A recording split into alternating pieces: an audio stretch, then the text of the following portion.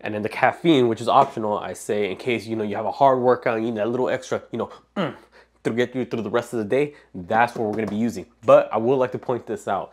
If you are constantly abusing and overdoing on the caffeine, whether it be coffee, energy drinks, tea, whatever it may be, you might want to look into what your sleep schedule is like. Because if you're just using this stuff as a band-aid over your piss poor pathetic sleep schedule, then you really need to get that shit in check. So I would like to say that sleep takes priority over any supplement, especially caffeine.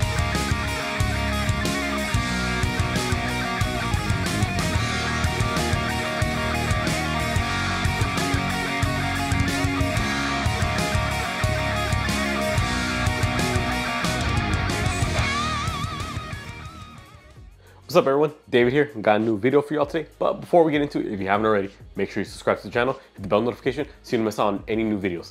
Remember, new videos every week.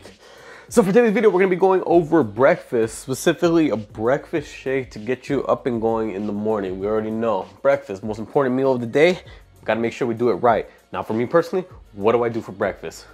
Liquids. I'm gonna be honest, I don't really have a big appetite in the morning. I'm a heavy eater throughout the day, but in the morning, I just need something quick so that when I work out, because for those who don't know, I work out early in the morning, wake up at 5.30, down a shake, then work out at six. I need something light just to fuel me through the workout, but not something that's gonna make me feel sluggish, heavy, and full. So that's where all of this comes into play. Now, there are four main things that I'm looking for when I'm eating my breakfast and making my shakes. Protein, carbs, occasionally caffeine. And convenience. The convenience is the liquid. The fact that I'm just drinking it, boom, real fast. I don't have to sit there and chew nonstop.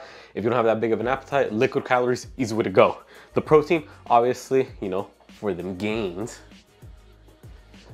The carbs, because it breaks down to sugars and that's what your body runs off of for energy. And then the caffeine, which is optional, I say, in case, you know, you have a hard workout and you need that little extra, you know, mm, to get you through the rest of the day, that's what we're gonna be using. But I would like to point this out. If you are constantly abusing and overdoing on the caffeine, whether it be coffee, energy drinks, tea, whatever it may be, you might want to look into what your sleep schedule is like. Because if you're just using this stuff as a band-aid over your piss poor pathetic sleep schedule, then you really need to get that shit in check. So I would like to say that sleep takes priority over any supplement, especially caffeine. Because let's be honest, if you're taking caffeine, you're tired, there's probably a reason why you're tired.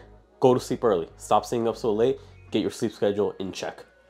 Anyways, with that being said, uh, let's pull it out right here. Got my trusty blender. So this is what I personally do. Again, you could cater to whatever you want. Milk, lactose free. I'm not really lactose intolerant, but that's what they had at Costco. Organic, I don't care if it's organic. Just, you know, I need milk. Just look at that. Look at that. Getting big here, getting big. All right, so I personally go 16 ounces of milk. That's two cups for those who want it a little easier. After that, I go half a cup of oats, and this makes up half of the carbs that I'm gonna be eating. The other half of carbs are gonna come from a banana. And again, carbs are not the enemy. I don't want to be hearing all these people say, oh no, I gotta go keto. No, carbs make you fat. Carbs this, carbs that, carbs that. Shut the fuck up.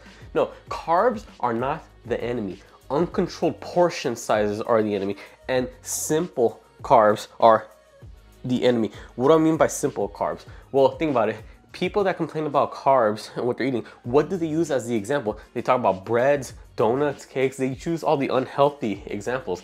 You see, when you're eating those type of carbs and you eat a big quantity of obviously you're gonna gain weight, obviously your health is gonna take a hit, but control yourself, eat some good quality carbs. Some rice with a good amount of protein, vegetables with it, vegetables and fruits themselves, those are carbs, those are healthier options. When you're, when you're overdoing it with junk food, don't be blaming the carbs, it's you and your uncontrolled diet.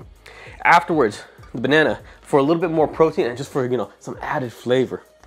This right here has been a game changer. This is PB2. All it is is powdered peanut butter. Me personally, I like the flavor peanut butter, but also for me personally, I break out a lot. You see right now I got the skincare routine a little bit more in check. I got a little bit more dialed in, so I'm not breaking out as much. But I have noticed in the past, whenever I want to try to add peanut butter to add some flavor to my shake and maybe a little bit more calories, I break out a lot. Why? Because of the excess fat. This just as tasty as peanut butter. The fat, goodbye. So I just do one serving, which is two tablespoons. And if you were to compare this to regular peanut butter, which I have right here, regular peanut butter for one serving has 16 grams of fat. This one only has one and a half grams, so it makes sense why I wouldn't break out as much. So I put one of that. Something I had hidden back here is honey. Again, quick source of energy. Those carbs, I'm gonna be working out right after this. Gonna come real handy. I always keep it upside down because this shit fucking freezes or something and every time I have to tip it over, it takes forever. So I just store it like that, let all of it sink down. And I just get one good squeeze. Look at those arms, look at the arms, look at the arms. Right there. Good amount of sugar in there to fuel me because again, I'm gonna be burning right through this. Now, majority of the protein is gonna come from one scoop of protein powder right here. And this is obviously on top of the protein that is coming from the milk and the regular, uh, or not regular, the powder peanut butter. Done with that. And lastly, this is what makes it a morning breakfast shake. A lot of y'all be drinking your coffee in the morning. I've seen some videos of some people who they actually brew a cup of coffee, then pour that into the blender, then do whatever else you want to add to it. And no one's got time to make another cup of coffee. So here's what I do. Me being the gym bro that I am, I'm gonna go with Folgers. And look what I did here. I put a scoop that you would find on the inside of a protein powder. It's just an extra scoop I have. And that's how much I put. Just one scoop to get me going throughout the day. And keep in mind, this is early in the morning. After this, I'm not gonna be taking any more caffeine throughout the day. So a lot of people drink their cup of coffee in the morning and then they get that afternoon coffee to get them through the second half of the day. No, this is all I'm taking throughout the day. Again, you shouldn't be abusing the caffeine. If you really need that much energy, then you gotta figure out what's the reason why you're tired in the first place. Most likely your sleep schedule is not as great as it could be. Maybe you're going to sleep way too late. Maybe you're waking up way too early. Maybe you're using blue light glasses or blue, you're using blue, hold up, I'm trying to use big words here.